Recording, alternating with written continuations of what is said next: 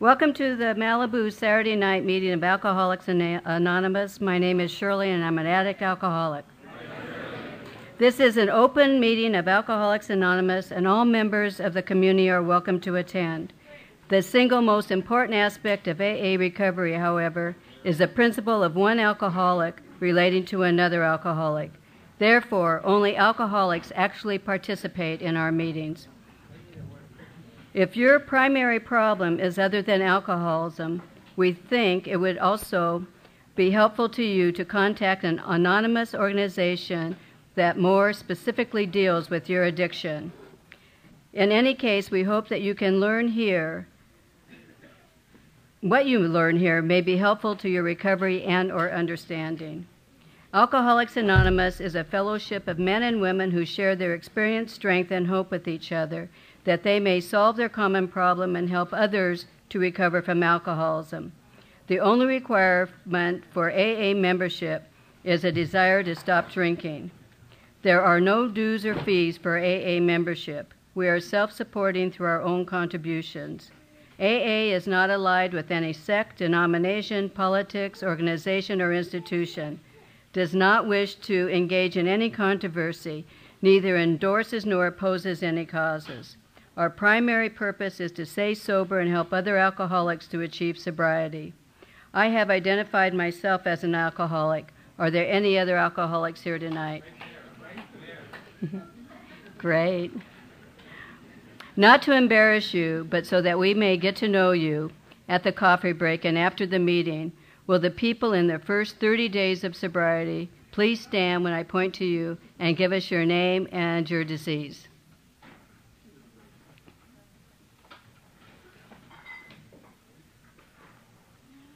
Okay. Should we start in the back? Hi, Robert. Hi, Michelle. Hi, Jennifer. You? Hi. Hi, Bruce. Hi, Tony. I guess we're on this side of the room. Hi, Amanda. Hi, William. Hi. Richard. Is there anyone else I'm missing? Great, welcome.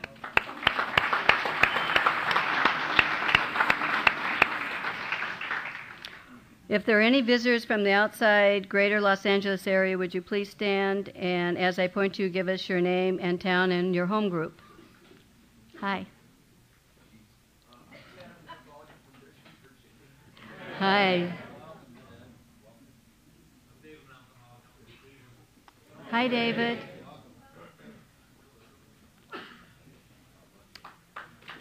Welcome, you guys. Will you please raise your hands if there are any empty seats next to you?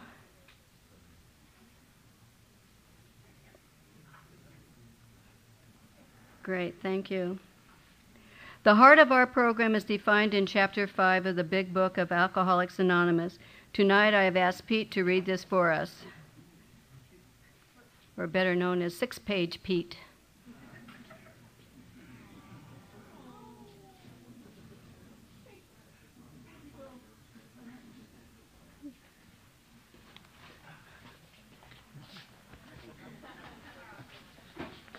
My name is Peter and I'm an alcoholic. Chapter 5 How it works. Somewhere. I don't have it memorized, that's for sure. there we go. Chapter 5 How it works. Rarely have we seen a person fail who has thoroughly followed our path. Those who do not recover are people who cannot or will not completely give themselves to this simple program usually men and women who are constitutionally incapable of being honest with themselves. There are such unfortunates. They are not at fault. They seem to have been born that way.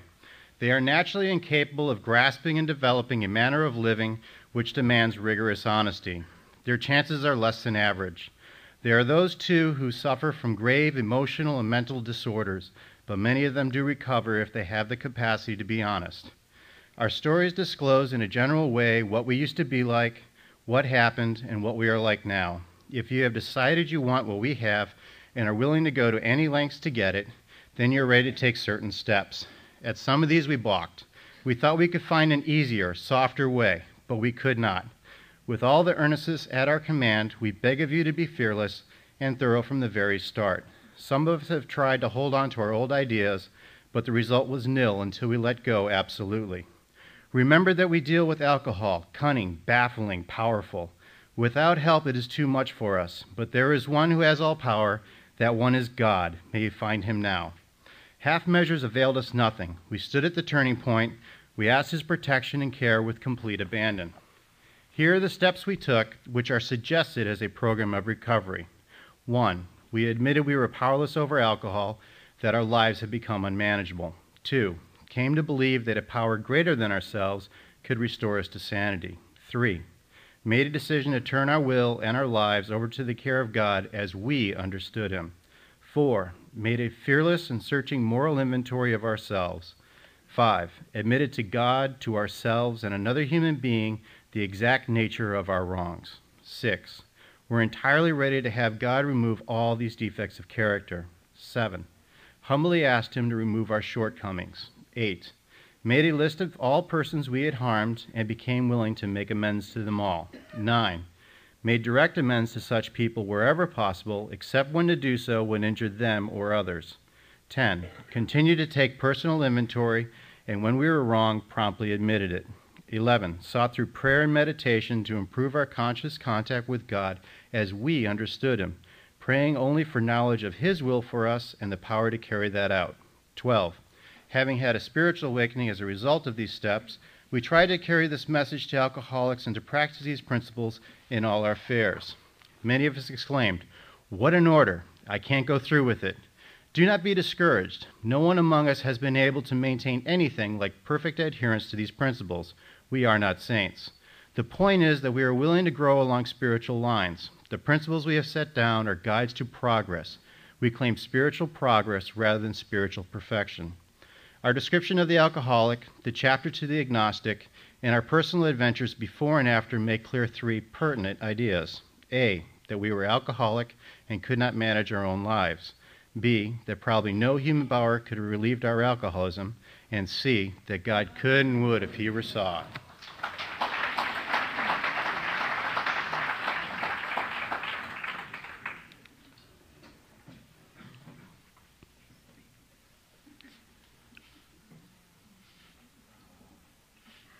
Okay, and the format of this meeting is one 15 minute speaker, birthdays, a short coffee break, and a main speaker. Uh, now let's have a hand for our first speaker. And I just want to say that tonight we have two friends from Orange County, and I don't know uh, Trudy real well, but I'm certainly getting to know her, and she's a terrific lady. Thank you, Trudy.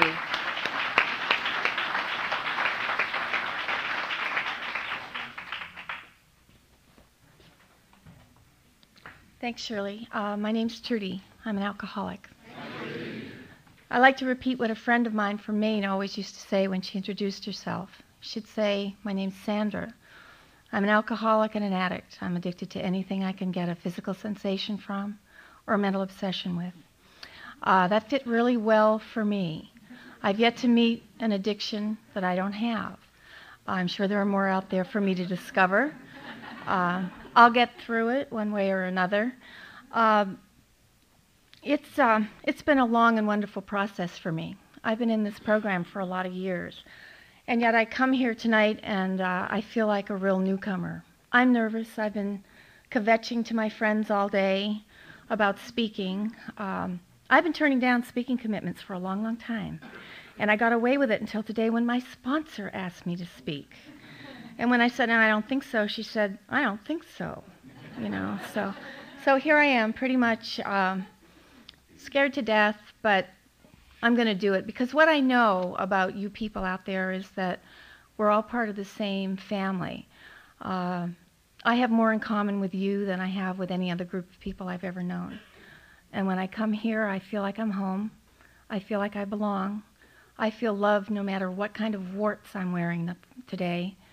Um, I feel warm. I go away feeling as though I've been sustained in many, many ways and respected and honored and loved just for being alive. And uh, that's a really special thing and a gift we don't find in many places in this world.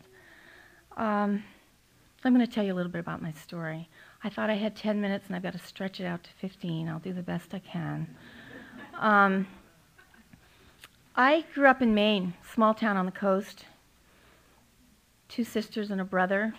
Both my parents were alcoholic and had some other very uh, serious acting out behavior, which I later came to find out about. And I, I, grew up in this idyllic small town where you could run from one end to the other, miles and miles, and somebody would always know who you were and who you belonged to. It was a real safe place to grow up, but on another level, I never felt safe. And I grew up never wanting to be in my home. I wanted to be somewhere else all the time. Uh, my parents weren't really available to me or to any of the kids in my family. They did the best they could, and we were neglected. And that's just the way it was. And I took my solace where and when I could. I hid in books, I read a lot, I ate a lot of sweet food. I uh, created other families that I felt comfortable with and spent as much time with them as I possibly could. And I got by. I, I wasn't one of those children who had that feeling that I never belonged. I, I felt I did belong to that community and to my schools and to the groups of friends that I had, and I was pretty comfortable with that. And it's a good thing I had that because home and family was where I didn't feel that I belonged. Um, I had my first drink when I was 18.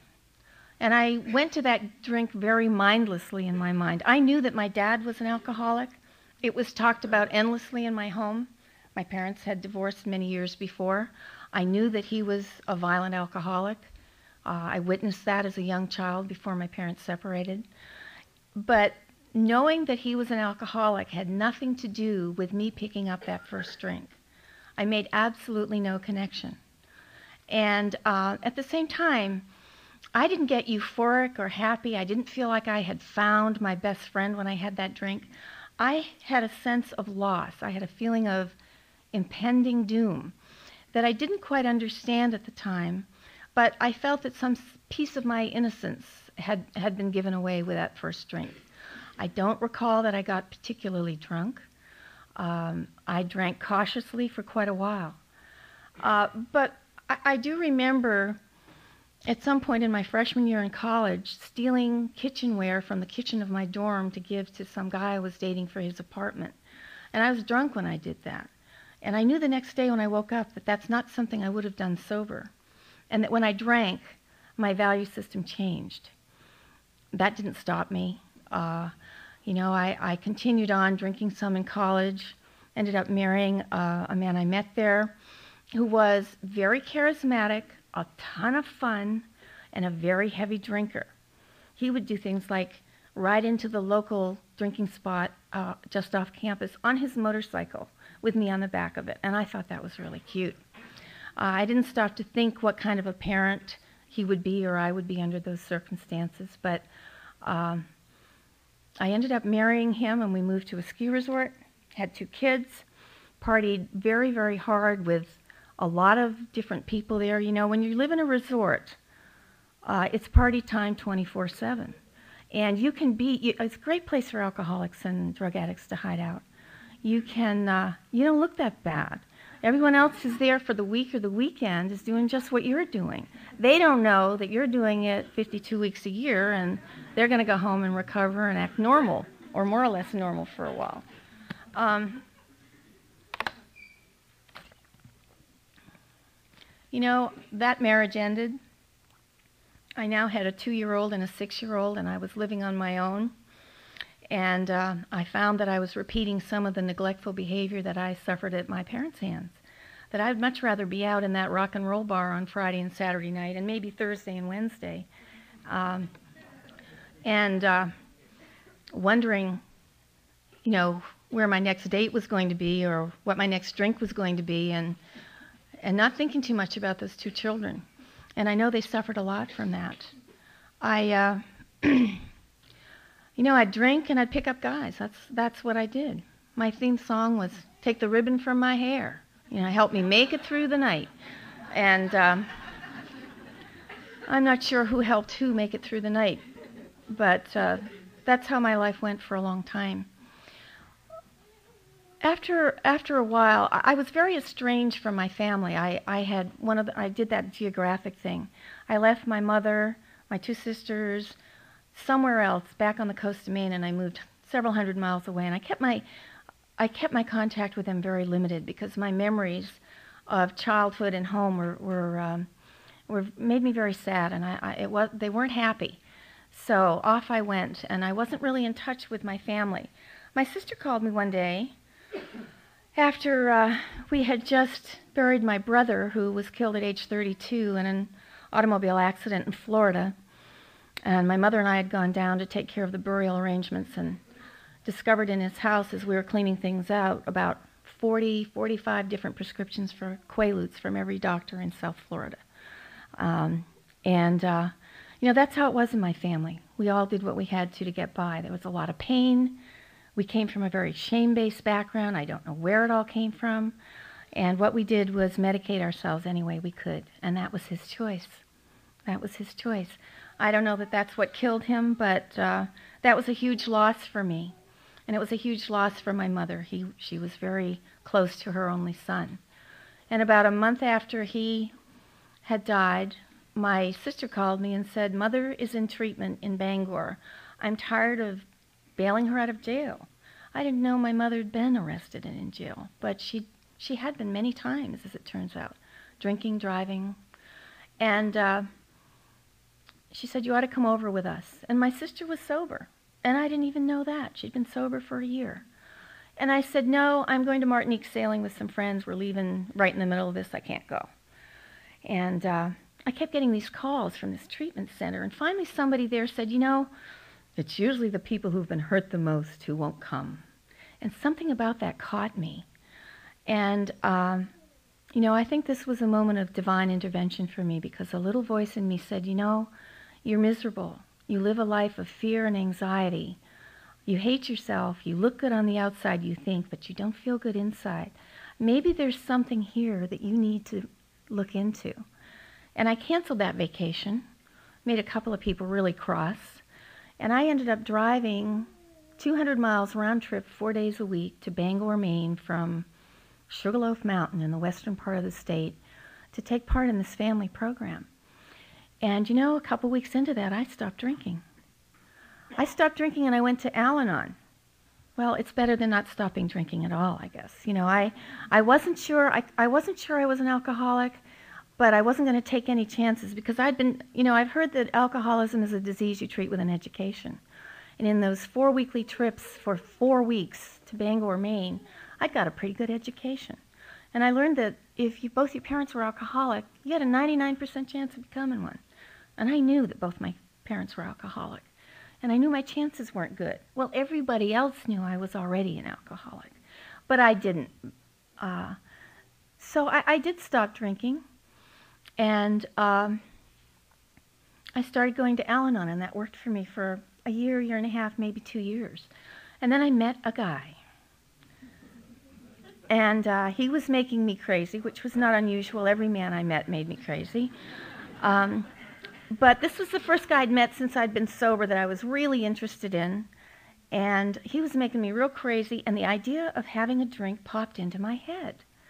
Now, I'd been around Al Anon enough. And AA, I don't know if it's like this out here. I haven't noticed it so much, but in Maine, you know, your groups are small. There aren't so many people there, and you have a lot of joint meetings. You you'll have like a St. Patrick's Day meeting with Al-Anon and AA, and everybody brings food, and there's a potluck. So I got to a lot of AA meetings when I was in Al-Anon, and I knew that I could go to an AA meeting if I didn't want to drink. That the only requirement for membership was a desire not to drink.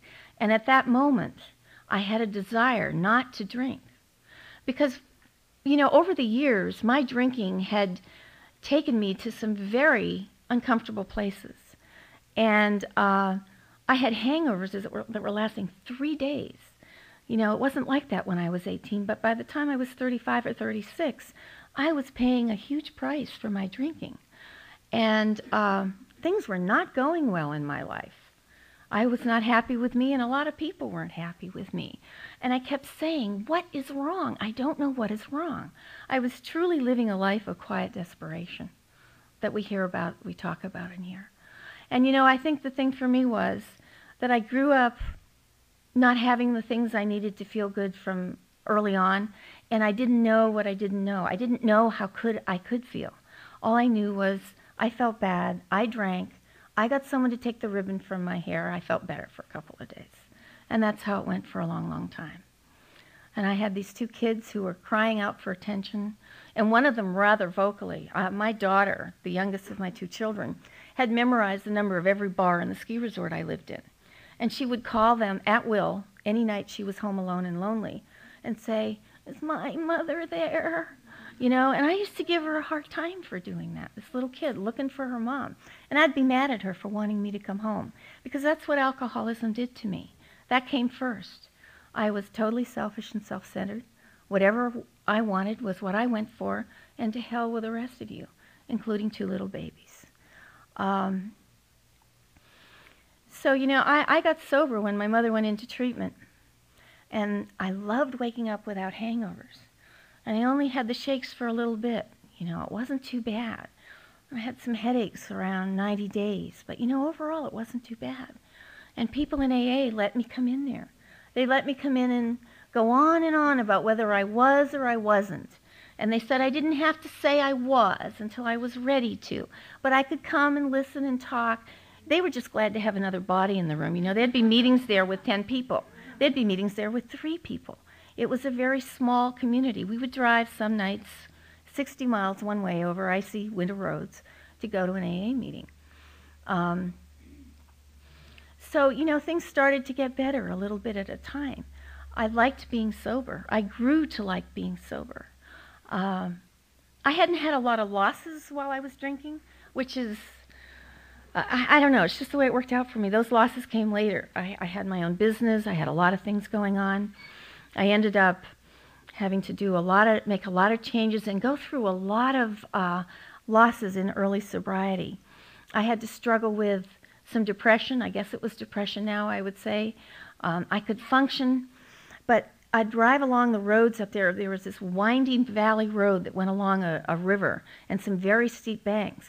I had to fight myself day after day from driving off the side because somehow that seemed like a better alternative than, than living, getting my act back together, getting my life together, and living a life and dealing with the loss of my brother, who was my favorite sibling. You know, uh, I, I didn't, all, you know, I lost my brother and I got sober a month later. I had no, no resources to deal with that in a healthy way, and it was really hard. And my kids kept me alive. I would not insult them by killing myself when they were young as bad a parent as I thought I was, was, I would not leave them. And you know, over the years of my early sobriety, those kids gave me a really rough time. They hated me sober, and they used to tell me that because they had figured out over the years just what string to pull and what to push and what to do and what not to say or do to make their lives work. And they were furious because they had to start all over because nothing worked anymore. I woke up, you know, I came to. And I was acting like a real parent. And they were incensed. They were completely incensed. Um, and they gave me a real hard time about it for a couple of years. Fortunately for me, I, I had some sort of a sense of humor about that. And I would try not to laugh while they were having their little tantrums, but I'd turn my head and just kind of laugh to myself because I knew what was going on. Nothing worked anymore, and they had to start over, and damn, it was hard. Um, but you know, those kids are now 32 and 36. I just spent Christmas with them.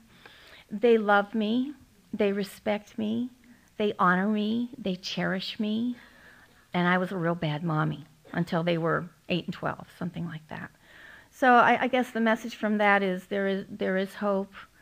Uh, my family is intact today. I know if I'd continued to drink, uh, I never, I wouldn't have made it. I wouldn't have lived. I can remember the last year I drank coming down off the access road to the ski hill in my little Peugeot. And uh, I, I, was having fun. I'd had a nice night of drinking and partying. I was kind of wound up. And I went into a skid, and, and I was up on two wheels of the car, and all I could see was a big snowbank on my left. And um, it's a good thing it was there because if I'd rolled that car, it would have been good. But you know, the car didn't roll. it came back down, and I and I made it home with my heart in my throat. But there were so many close calls. It couldn't have gone on forever like that, you know. So I know that I owe my life to this program as well.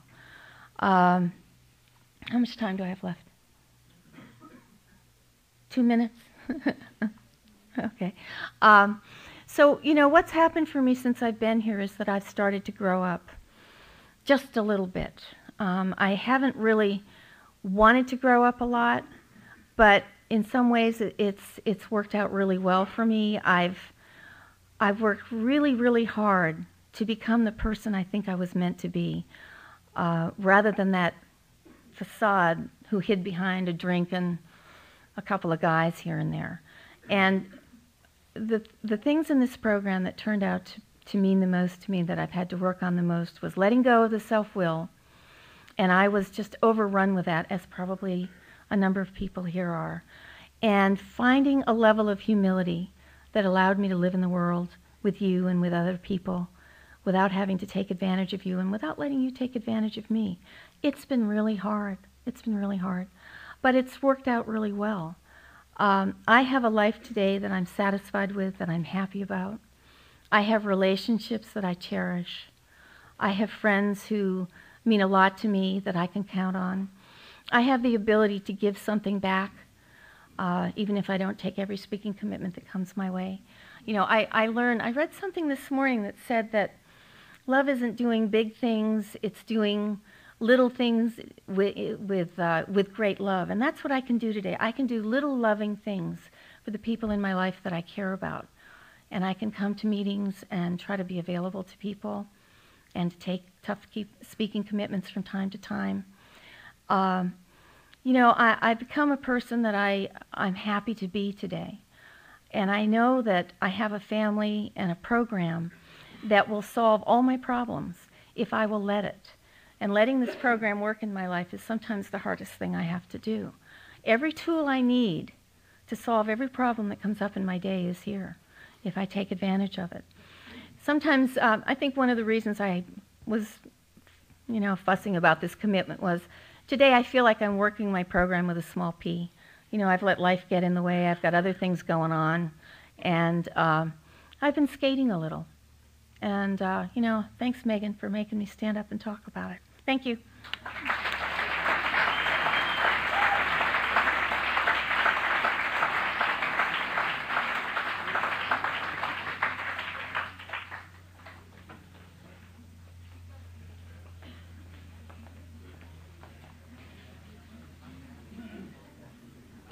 Our group is self-supporting through our own contributions. We will now observe the seventh tradition. Please remain seated. This is not a break. While the baskets are being passed, we have a few announcements from our co-secretary, Dan. Hi, I'm Dan. I'm an alcoholic and your co-secretary. In Alcoholics Anonymous, we are self-supporting through our own contributions. Please be as generous as possible with the seventh tradition. If this is your first meeting, there are no dues or fees in AA. All expenses for the meeting are taken from your donations. If you are celebrating a birthday, it is a custom at this meeting to donate $1 for each year of sobriety. This is only voluntary, and please use this can. Uh, this meeting also provides child care. If you would like to tip the babysitter, please use. There's another can up here somewhere for that. If you have questions about our literature, see Willis. He's sitting right over here. He will be up here at the break after the meeting, right over here by the literature rack that has no literature in it. We taped this meeting.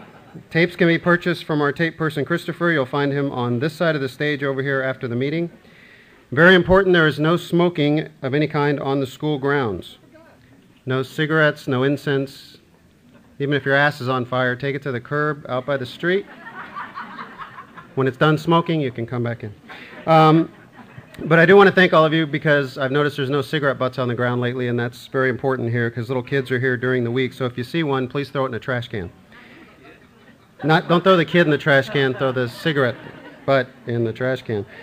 If you would like to smoke before the meeting or during the break, you must do so at the curbside out to my right. Butt cans are provided. If you would like to save a seat at this meeting, you may do so after 6:30. Please only save a seat for yourself and one other person. If you parked on the street, please move your car during the break to one of the large parking lots. The small lot, small lot is That's the one over here by the kitchen. That's for people with commitments. And we've been having a problem with that lot. So if you don't have a commitment here, please don't park there. Okay? Last week was kind of crazy. Um, let's see, what am I missing? There are sodas and water in the back. We do recycle, so please use the recycle can provided. When you hear the bell, that means the break is over and it's time to get back to your seat. Please do so quickly so we can hear the 12 traditions and give our main speaker plenty of time. And please remember who you see here and what you hear here, let it stay here. Last, if you need fellowship after the meeting, some of us go to coffee. Please see me and I'll give you directions. Thank you for letting me be of service.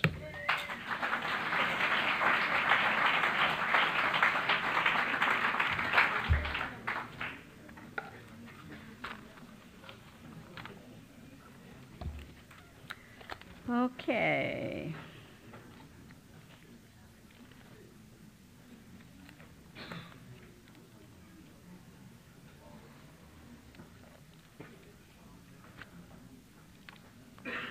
I guess the can, I guess this is the can? Is this what was passed? Okay. Um, we celebrate birthdays with a candle for each 365 days of continuous sobriety. Tonight we have now 16 birthdays. We will sing happy birthday to them all. Oh, we need all of them to come up, so I guess I call them and their people. No. Do they all, do I start, do I say their names now? No, No. they all come up. They just all come up. Okay. It's probably her. Oh, well, all the birthday people uh, and the cake givers, please come up on the stage now. Thank you, honey. And then wait till all they, they, they all get up here and then we'll Okay. this. And then we sing just one time. Do we sing first or after? It says, we will now sing. Happy birthday. Okay. And then they come up and they talk. Yes, and then we'll do them one by one. First year. I don't want to talk in that, surely. Okay. But the microphone, everybody can hear out there. So did, was there just one ad for the seven Two. years? Two So ads. I added uh, 16. You added, So there's, I said there's 16 people taking okay. care. But where's the other one? Okay. Ted for seven, and then where's the other ad? One year, is that it? This one and this one.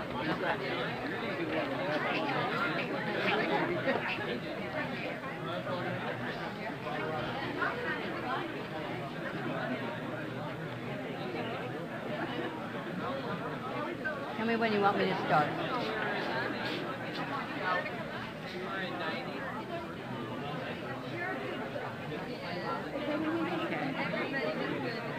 You want to read this first because we want to Okay. and then start. Okay. We celebrate birthdays with a candle for each 365 days of continuous sobriety. Tonight we have 16 birthdays. We will now sing happy birthday to them all. Happy birthday to you. Happy birthday to you. Happy birthday,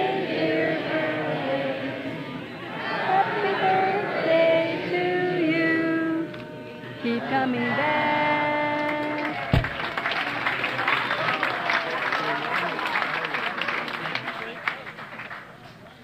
I was just told you have 45 seconds each.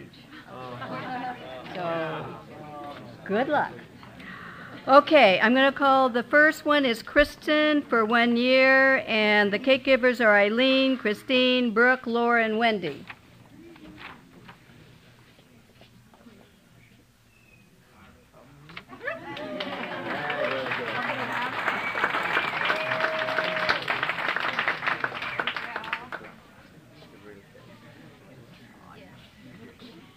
Thank you. Thank you all so much. Thank you to my beautiful friends. I have such beautiful friends now. And, um, oh, my name's Kristen and I'm an alcoholic. I'm sorry. and, uh, you know, I have, a, I have a good friend in myself and I have a good friend in God. So I'm free today and thank you all very, very much. Okay. We now have Matt and for one year, and Chris will give him his cake.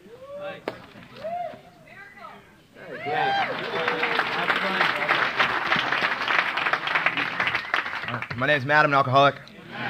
Um, I want to thank Chris a lot. Uh, I went out a couple of times, and he told me he wasn't in the throwaway business. And uh, I'm still here, and I got a year today, and it's been a great year. So thank you very much.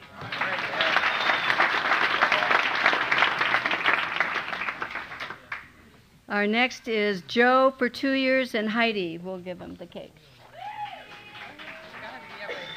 Section.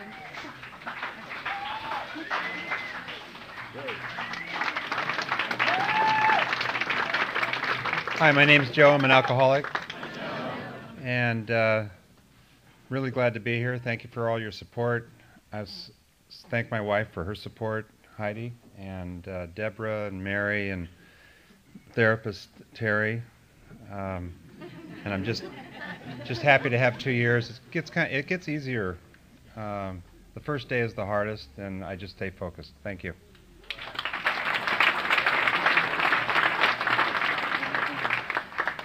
Okay, we have Shauna for three years, and Mom, Dad, Aaron, Joe, and Deborah.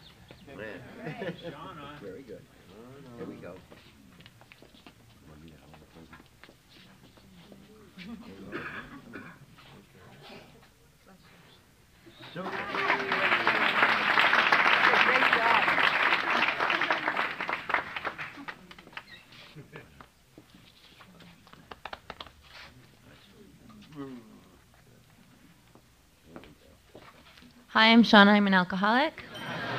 Um, I just want to thank everybody for. What's so funny? Okay. I just want to thank. Um, okay. uh, I just want to thank all of these people for coming. My parents came from Utah. Arnon made it here. He was out of the country and he came just in time. Joe was, I think, on his deathbed yesterday, and he's here. And and De- Deborah's had a busy day with a two-year-old birthday party, and she made it. So everybody, I mean, really means a lot to me that they came and to support me. And um, I just sobriety is the greatest gift I could have ever. I couldn't have imagined. I mean, it's beyond my dreams. It's just, it's amazing. The the biggest gift I've ever been given. And um, I just remember how filled with fear I was when I first came. And I mean, I didn't even know it. I was because I was so cut off from it. But I just I look back now and I was just I was just afraid of everything. Everything was difficult, and my life has changed entirely. I just it's amazing today, and it's just just from coming coming to meetings, um, working the steps, and uh, and a, a contact with my higher power. That's one of the most important. Anyway, and I want to thank all of you.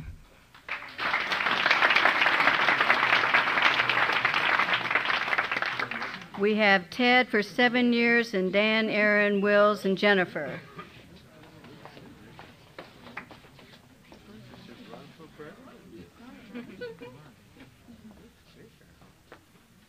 Way to Ted.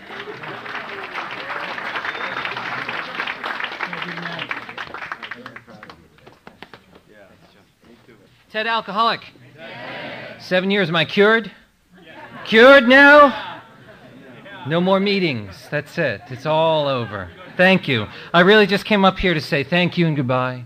I'm all done. Um, actually, it's not true. I um, I spent a little time this year. You know, uh, people screw off off this program, and you don't see them again. And and uh, I, I kind of took a half-hearted swing at that this year. I I tried to make my life go and the outside stuff in my life go, and maybe I don't need to go to meetings too much. A little tune-up now and then, you know. Um, and uh, you know, not only didn't that work, but I really have to ask myself why, like why that would be desirable. I like meetings, you know. I have tremendous friends in this fellowship and in this program, and and you know, you all have been teaching me for the last seven years how to be a grown-up, you know, how to be a functional, somewhat, you know, calm and peaceful, integrated person, and all of that comes from here. You know, I had no clue about any of that. I didn't even know that that was desirable um, before I got here. So, um, thank you very much. I'm happy. Thanks.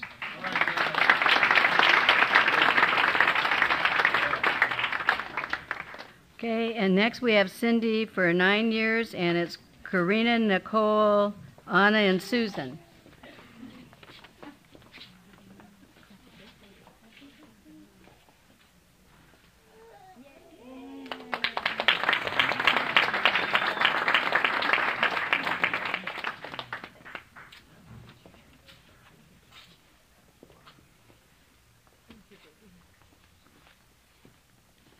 Hi, I'm Cindy, and I'm a grateful alcoholic. I want to thank all these women. Most of them have been in my life since the beginning. And uh, if you're new, I was taught you can't keep it unless you give it away. And uh, today I'm not alone because I have God. I have a loving God today in my life. And uh, they, t- they told me that I would only want to hang out with alcoholics when I got here, and I laughed. I said, don't, You don't understand, I have friends. And today, that's all I want in my life. And um, I'm never alone because I always have God. And uh, get a sponsor and take direction, and uh, your life, like mine, will change. And uh, thank you all.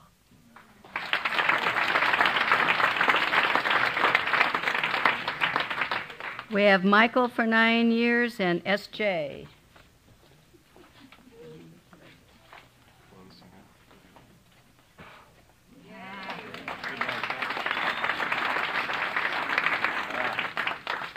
My name is Michael. I'm an alcoholic. And I'm sober today by the grace of God and the principles of Alcoholics Anonymous. And I'm a lot calmer than I was this morning. This is my birthday today. And things are a lot different than they were nine years ago.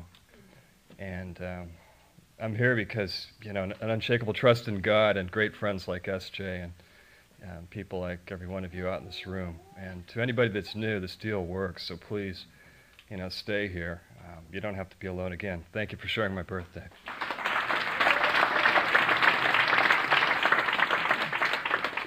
We have Robbie for nine years, and Jennifer will give him his cake.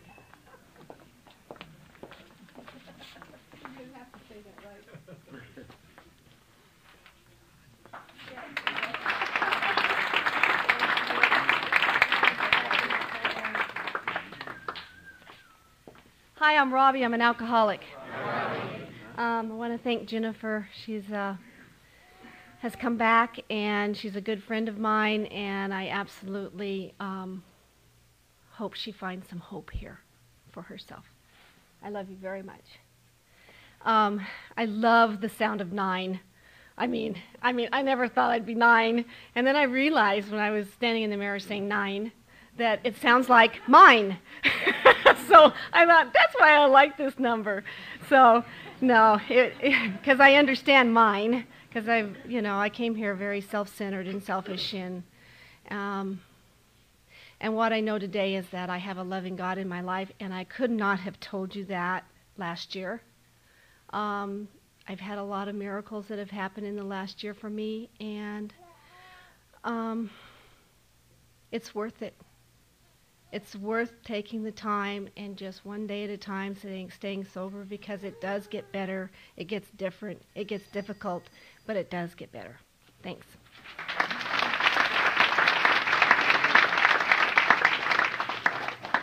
We have 11 years now. Alex and Robert will give him his cake.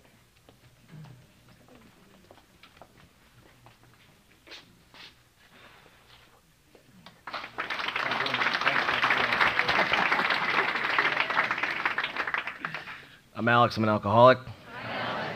Uh, thank you, Robert. One of my best friends. And uh, glad to have you in my life, man. When I was uh, 17 and I got sober, at that time, if you were the parent of a son or daughter who was associated with me, I was your worst nightmare. Believe me. Um, that is not the case today, thank God, and I've worked on uh, not being that nightmare. So uh, I'm really grateful to be sober. Um, and of course, you always forget what you want to say, but uh, I'm just glad to be sober, man. You know, it's just incredible. I'm just so grateful, and uh, and everything's really, really good. If you're young, there's some young guys here. It can work for you, believe me. You know, my first time was I was 15, so uh, you know, and I decided at 17 it was it was time. So it can work if you're young, believe me. And uh, that's it. Thanks.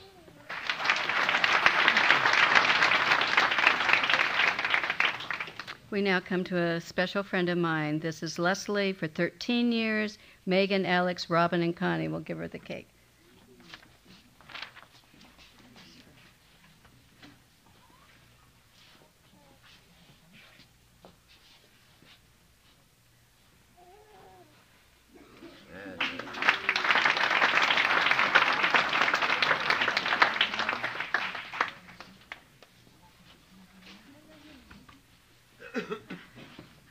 Is Leslie, and I'm an alcoholic.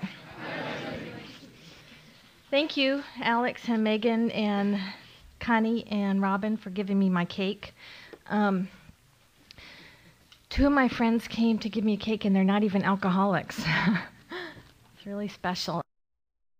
I'm an alcoholic. 12 traditions. One, our common welfare should come first. Personal recovery depends upon AA unity. I like this, Shirley. Two, for our group purposes, there is but one ultimate authority, a loving God, as he may express himself in our group, conscience. Our leaders are but trusted servants, they do not govern. Four, each group should be autonomous, except in matters affecting other groups or AA as a whole. Five, each group should have but one primary purpose to carry its message to the alcoholic who still suffers. Six, an AA group ought never endorse, finance, or lend the AA name to any related facility or outside enterprise, lest, mon- lest problems of money, property, and prestige divert us from our primary purpose. Seven, every AA group ought to be fully self supporting, declining outside contributions. Eight, Alcoholics Anonymous should remain forever non professional, but our service boards may employ special workers. Nine, AA as such ought never be organized, but we may create service boards or committees directly responsible to those they serve. 10. Alcoholics Anonymous has no opinion on outside issues, hence, the AA name must never be drawn into public controversy. 11. Our public relations policy is based on attraction rather than promotion. We need always maintain personal anonymity at the level of press, radio, and films. 12. Anonymity is the spiritual foundation of all our traditions, ever reminding us to place principles before personalities.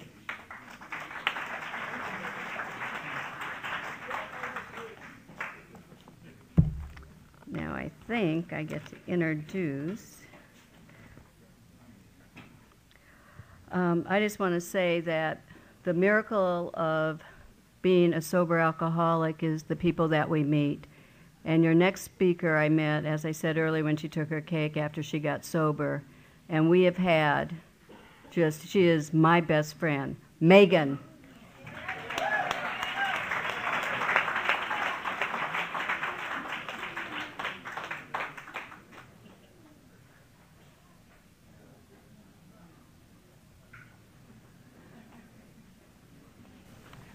Hi there, my name is Megan Doherty, and I'm an alcoholic.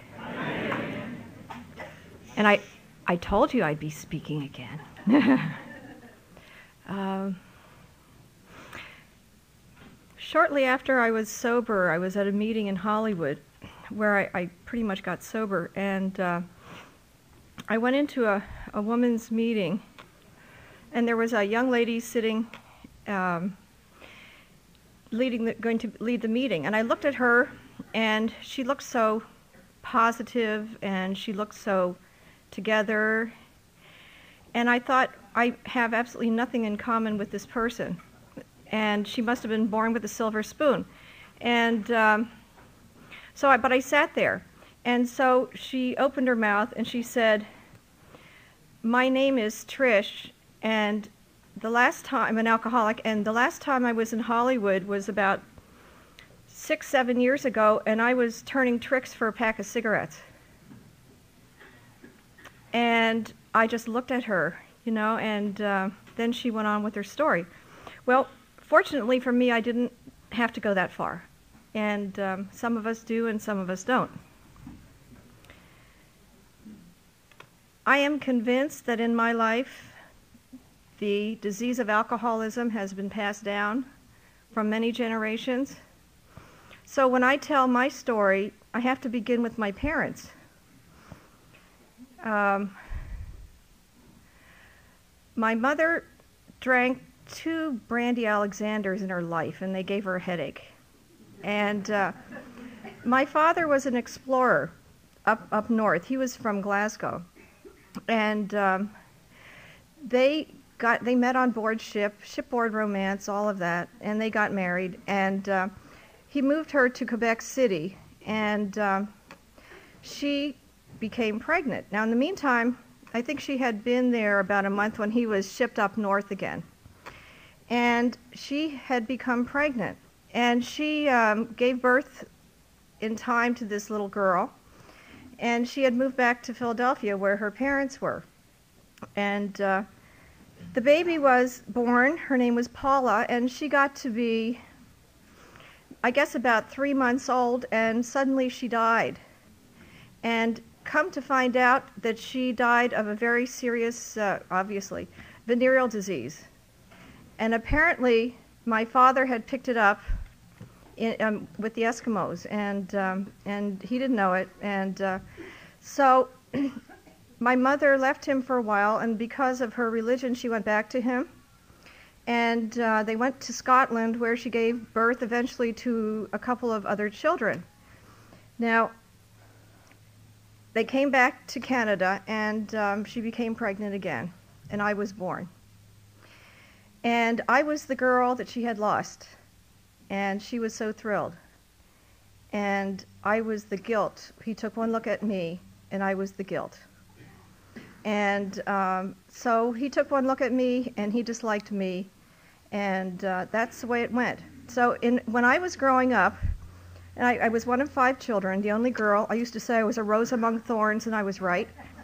And I was loved and treasured by my mom because I was a girl. And I was only, in his eyes, I was only a girl. So I grew up with this dichotomy. And uh, my father was an alcoholic.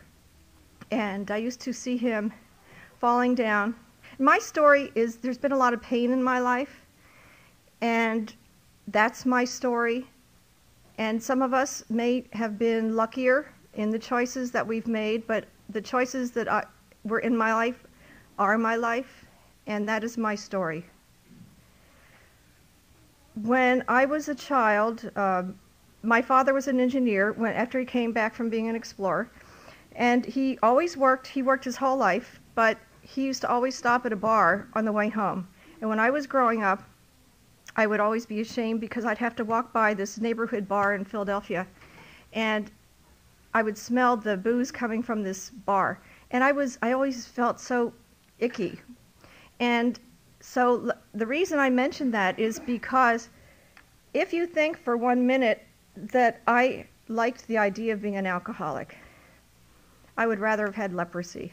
You know, to me, that is the worst possible thing that could have happened to me.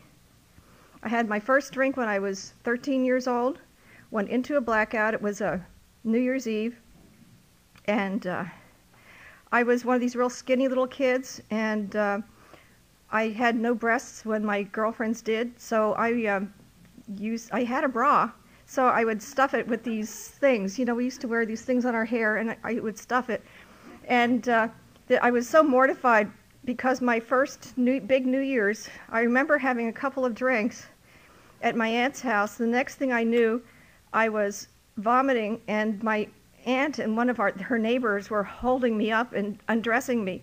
And to my great humiliation, I had these things coming out of my bras. and they laughed at me. They, they thought it was very, I was so mortified, and I swore I would never do that again. But I did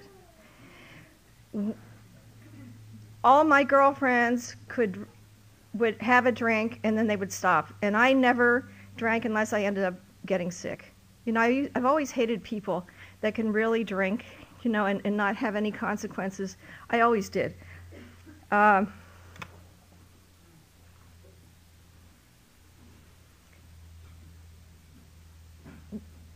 i was an overachiever and work in an industry that some of you also work in.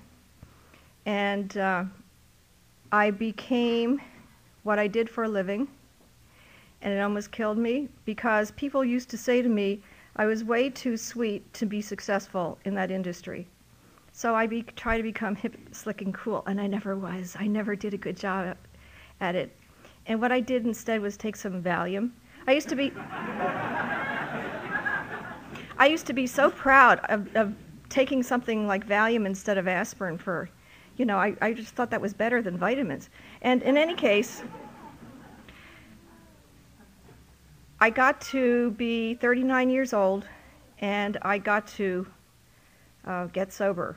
Now, what I'm while I was growing up, my father was he took he hated me, and I hated him. I remember living in the same house with him for about oh, I guess about four or five years, and we never said a word to each other. There was just absolute no communication. And so I never knew what it was like for a father to say, I love you, or you're a nice kid, or whatever. And what happened was that when I became a young lady, I married a father. And he said all those words to me. But he was a very strict father, you see, and uh, I ended up being a battered wife. And uh, that went on for a long time. I happened to get, um, for, I was in a blackout, I called someone that we were courting an asshole. And I, I, I was horrified because we had been courting this person for about three years. And in a blackout, I called him an asshole. And uh, the next day, my husband at that time said, I don't think you should have done that. And fortunately for me, I got mad at alcohol. I thought, I'll be a son of a bitch if I'm going to ruin my career because of alcohol. So I got mad and I got sober. It was on a New Year's Day, and uh, I had a little girl that um, that had somehow discovered that I had um, an issue with alcohol, and we had um, in our dining room we had a little cabinet, and I would try so delicately. We had the wine in the cabinet, and I would open the cabinet door so lightly so that no one would hear that I was drinking again. And this little voice would come out of the darkness and say, Mommy, you don't have to do that. I love you. You know, and I was so ashamed. I was so ashamed. And uh, so um, I, um, I, I called central office and I said, a friend of mine has a problem with alcohol. and so they put me on hold. And so they said, guess they got a woman. And I told, I tried to tell her the same story. She put me on hold. And then, damn it, finally someone came back and I told them that I had a problem. And so they sent me to a meeting. And uh, it was uh, really rather amazing. Uh, I said, I want to go to a meeting, but I don't want to go to one of those meetings. And so they sent me to a meeting in Hollywood. It was a speaker meeting, a gay speaker meeting, a gay men's speaker meeting. and there were about there were about three women there. One had a black raincoat with different colors of I think about four or five different shades of purple in her hair. And the other one was talking about God. And I was so horrified to have been in a place like that. And uh, I, the only thing that could have been worse is that someone would recognize me. And so my neighbor came up and said hi. I love the laughter of AA. You guys, I don't know you, but that's, that's so great. But I know you, and you know me. Um, after I was sober a while, um, let me just tell you also, it, my background's a little bit different than Trudy's because my brother died of a heart attack two weeks after I got sober. And so, and I had been to two meetings, and what's so wonderful about this program, and what happened for me, I had been to one AA meeting after that AA meeting, and then there was one more I went to, and there was a woman speaking, and she was sharing that she had just finished her second mastectomy, that she had just gotten her CPA license, that she was um, just finishing um, something else. She, she was, her divorce was just finishing, and that her kids were doing crazy stuff, and that uh, that week before that she had come home to her living room, and it was uh, her new couch white couch and sofa, the whole thing, were floating in her living room. And so she said, and so I went skiing. Later that night, I got the call that my brother had died. And I went back to that family. And uh, all I saw was her eyes, this woman's eyes. I just kept seeing her eyes because I, I'm a con, and I can smell a con, and I could tell she was telling the truth, and uh, that kept me sober. So I came back, and uh, I got involved with the We Agnostics group. One day, a gentleman came up to me and saw that I wasn't saying the Lord's Prayer, and I said, "And what of it?" And uh, so he he said, "My name is Charlie Polachek, and uh, I've been sober for nine years, and uh, I'm an atheist." And uh, I said, "Great, let me let me be with you." And uh, so I just kept coming back, and uh, one day he came up to me because he had seen I was still around. Everything happened to me when I was about six months sober. And he said, You know, he said, I have a son in Corpus Christi, Texas that I visit. And he said, When I'm visiting him, he said, they have um, a meeting there for NASA scientists. And they, they, you know, they're, you know, those scientist types. He said they're, uh, a lot of them are atheists and so on, but they have their own AA meeting and uh, it seems to work. And he said, How would you like to help me start um, a We Agnostics meeting out here? And I said, Absolutely. So together we started a We Agnostics meeting in Los Angeles. And uh, it was really very cute because we attracted some of the really wonderful, wonderful minds in the city. We attracted judges and nuns and priests and so on. And we, we, and here we all sat around like little children trying to find a higher power. You know, and so we, we would try each other's higher power on, you know. Some were too soft, some were too, you know, some were too hard. And, and um, fortunately, for me during this process is that I got to learn the art of translation. And uh, that helped me survive. Uh, when I was, I guess, I guess I was about two, I had, uh, finally I ended up in about two, after about two and a half years sober, I ended up at a battered woman's shelter. And I took my little girl with me at that time. And uh, my life was changing tremendously. It was really tough for her because I, you know, when we get sober, sometimes we become teenagers, you know, and I was uh, like a 42 year old teenager. And so was she. And so we, we were both after the same mirror, you know, and it, it was really, it was really tough, tough on her because I, I, I felt I had been cheated of my girlhood because the man I had married, this very strict father, uh, he was a lot older than I was, and so I always had to be older. Time went by, and uh, my daughter has her own story. You know, Erin, and um, so she has her own story. But what happened with me is after I left this husband and started getting my life together, I was at a meeting one day in Santa Monica. And across from me sat a gentleman, I guess he had about 35 years of sobriety. And I looked at him, and he had these bright blue eyes. I don't even remember his name. He had these wonderful eyes, and he looked at me, and I looked at him, and I said, You know, you remind me of my father. You look like my father. And so I said, But you, instead of looking at me with hatred, you're looking at me with love. And so I said, Boy, do I want to talk to you. And so we made a date, and we met in, for breakfast. And I told him all the things that had hurt me, that, how my father had hurt me over the years. And he just sat there and he listened. And, um, and he told me he loved me. And that's the last time I ever saw him. And it was a healing. It helped me. For a person to have come from so much damage that I had to a place of being, uh, within a mere 20 years, to be in a place most of the time to be happy, joyous, and free. It's impossible. It's impossible in one lifetime. And I came to the program for everything.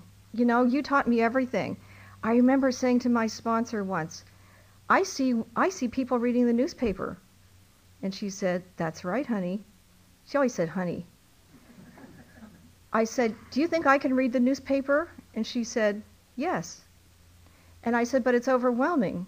And so she said, Well, just read through it. And whatever attracts you, you read. And so I started doing that. And lo and behold, things started becoming of interest to me. I remember when I started dating, I was with definitely the wrong kind of men. And Shirley will attest to that. She said I was really sick. My sponsor um, at that time said, You know, she said to me, Do you like your life? And I said, No, hell no. She said, Well, what makes you think any healthy man would like to share your life? so she said, Honey, that's a honey again. She said, What I did was I decided to become selfish. And so I chose, I took three years to deal with my stuff. And, uh, and she said, Why don't you do that?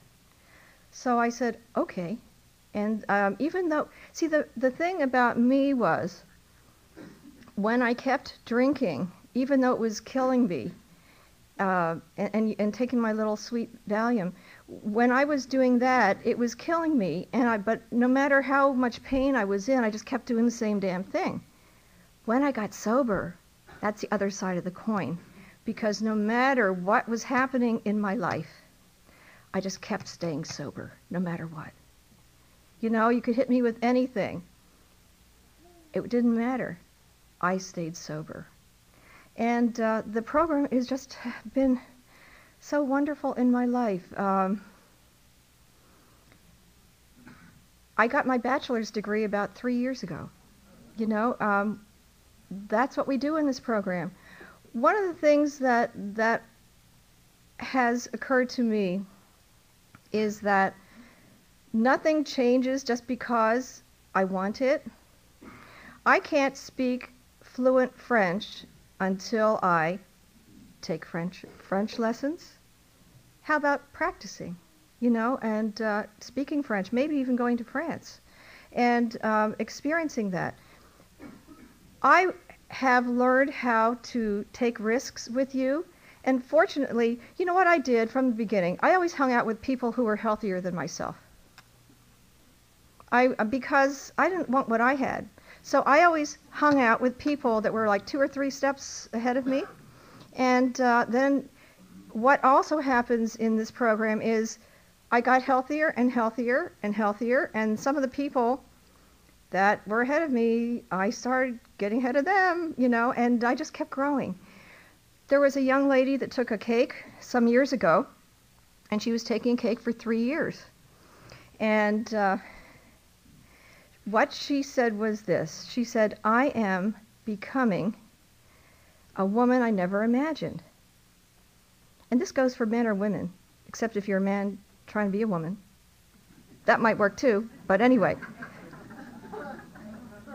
What she said was, I'm becoming a person that I never thought possible. And I got news for you. After that, my experience has been is about three years later, I got to be a woman that I couldn't even dream of. And if you're willing to keep growing and still taking risks, then you get to go further and be another person that that you never dreamed of. And we change. You know, we change and we change. My mother used to say, "Dear, when you grow up, excuse me. Dear, when you grow up, you'll, you know, you'll meet a man and and you know, like you're one part of the circle and he's one part of the circle, and when the two of you come together, it's a circle." And mom was half right. But if two circles, if you become a circle, you attract another circle, and then you come together, and then you become a ball with dimension. You know, I thought to myself, if I have to be in these rooms, I'm going to get everything I can out of it. I don't want to, I never want a little piece of anything. You know, give me the whole pie or nothing. You can have it. And so I came into this program with a vengeance. I fell in love with Alcoholics Anonymous.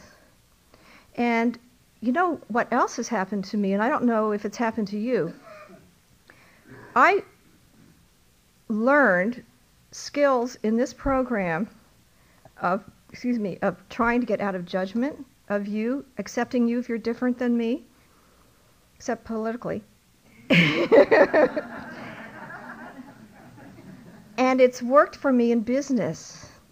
What I've learned to do is to take that stuff outside into the other world and use it, and it's very effective. It's very effective. People know I'm different. Either that's very good or bad, but uh, they, they just know I'm loving. And I don't tell them, I don't break my anonymity in the outside world. Life is, is very good uh, for me. Uh, that little girl that I had got sober. She was a teenage alcoholic. And I used to bring her to AA meetings with me. And at, back then, people used to say, What's she doing in an AA meeting? She should be in Alateen. So I push her into Alateen. And then she kept bouncing back to AA with me. And so finally, someone said point blank, Is she, is your daughter an alcoholic? And I said, No, she's my daughter. You know that way we do? And so she, afterwards, Erin said to me, How dare you tell them I'm not an alcoholic? You know, she really gave me hell. And uh, so she went ahead and proved it, you know. Beyond my greatest thoughts, actually. Could have taught me a few things. But. Uh, and then I met a healthy man. You know, of course, I. Oh, that's another thing I did. I used to go to the meeting in the valley, you know, and uh, the hole in the sky. And I, I was told, bring it to the program. So I said one time, I was told by my sponsor that I need to meet healthy men and become friends with healthy men. So will all the healthy men please stand over there, you know, that I could become friends with? And so they lined up, and I said, I, I said, I'm not going to sleep with you. I don't think they believed it, but they, but you know, I, I said, I was told that I can't have one of you until I can make friends with nice men, you know, and actually, I also came to the program and talked to the ladies, and I said, I need to learn more about that world of intimacy and so these all these former prostitutes came up and they gave me some lessons too. so I've I've I have right I have come to the program for everything. You know. One of the things that happened also am I am I at all like Erin or is she real real conservative compared to me, right? Um, one of the things that also happened to me, and that's why I think this program is so remarkable. There was a gentleman that had about 35 or 40 years of sobriety, and he had terminal cancer. And he was, he knew he was dying. And he came to the podium, and he was coming here to say goodbye to us. And he, what he said is, some of you are very young, and some of you are closer to where I am. And he said, and I'm just here to tell you that it was worth it and that it can happen with dignity. And so he said, so just put it back, put it somewhere in the back of your mind that this can, this can happen this way. And this wonderful man had such aristocracy of the spirit, you know, and he taught me something. And you know, and, and, and that's what we do for each other here. You know, in, in, in this program, we get to be the 20 year um, ex con. We get to hear the stories of the ladies of the night. We get to hear all the stories. And we get to hear them all. And um, we get to take them in.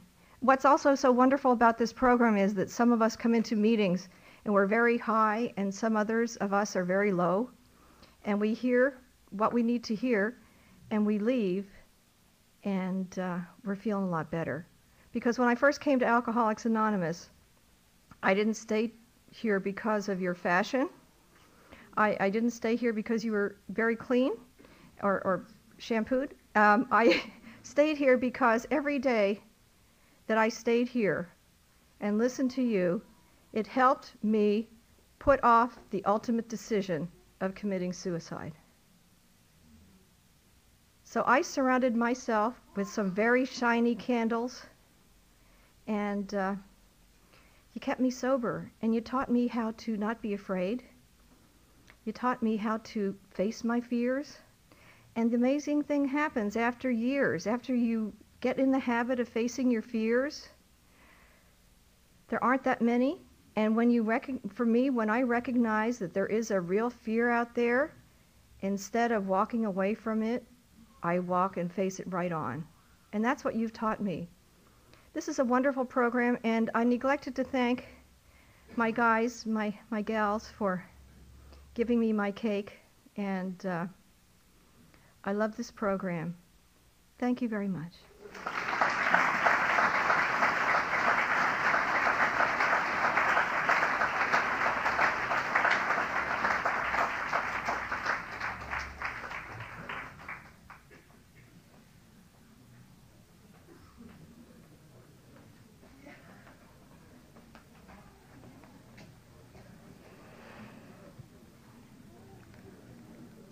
This has been another typical Saturday night meeting of Alcoholics Anonymous.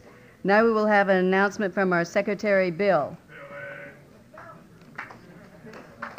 Oh, there's one more thing.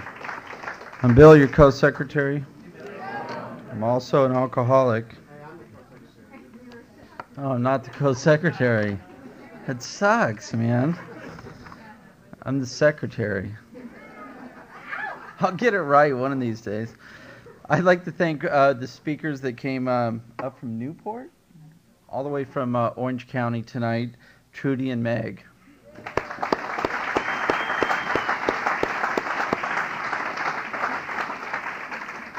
Thank you, both of you. Um, I'd also like to welcome the newcomers. Um, if you could please just stand so we can get to know you after the meeting. People in their first 30 days.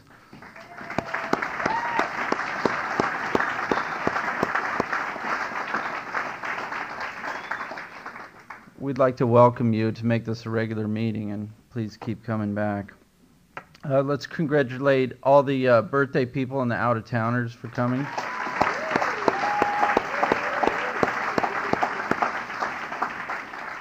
A lot of birthdays tonight. I'll have to mark that in my calendar next year. Um, we're going to have a literature announcement from Willis here. Where's Willis? I'm. Willis. If you're new, you're going to stay new unless you work the steps, except for in this book. Uh, this is a soft cover. I gave away all the hard covers, but I have soft cover books, big books. I also have the big, big book with big type. If you're still loaded, you can still read. all this literature is free. I have meeting directors for a dollar. And I have lists for newcomers of men and women who are willing to talk to you anytime, day or night, 3 o'clock in the morning. Don't care. Come get a list, whatever you need.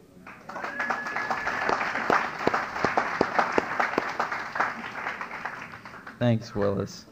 Uh, we may sell tapes to this meeting. Uh, if you'd like to buy a tape of this meeting, Chris will explain that to you. Hi, I'm Chris, your alcoholic tape person. You show up right here after the meeting with four dollars in your hands. I'll have a tape for you next week of the speakers. If you give me five dollars, I'll mail it to you. So please see me right here afterwards.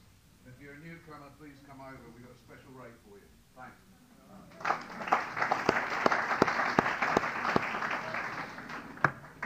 Um, we're going to have an announcement from our chair wrangler. My name is Jeff, uh, your alcoholic chair wrangler. and uh, we stack those chairs 26 high. Meet me at the back if you want to help out, and we'll get it done. Thank you. All right. What he means 26 high, there's little carts we put them on. They'll fall over otherwise. So if you want to help with that, please please pitch in. And if everybody could just pick up any trash around your area, try not to kick the coffee cups over. There's a recycling bin in the back if you want to pitch in that way. Parking lot closes at 10 o'clock. If you want your car for the rest of the weekend, you need to have it out by 10. Um, hey, that's what it says in our lease, you know. Come get it on Monday. Um, there's a late night meeting after this meeting at Malibu Canyon at the Bluffs Park. It's Malibu Canyon and Pacific Coast Highway at 10:30. It's a candlelight meeting. I don't have any flyers for that or anything, but check it out if you need another meeting. And I'd like to thank Shirley for leading a great meeting.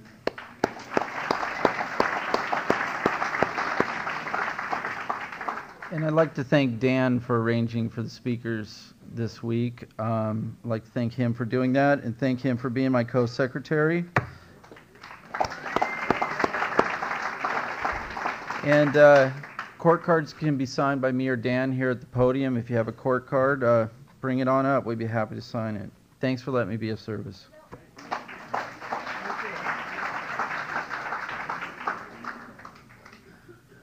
Um, Was going to have Sheila come up and, uh, oh, I'm sorry. I would like to thank Pete for reading uh, the fifth tradition and uh, Leslie for reading the 12 and 12. And after a moment's silent meditation, Sheila, will you please come up and read a uh, the Serenity Prayer? Lead us in the Serenity Prayer. Hmm.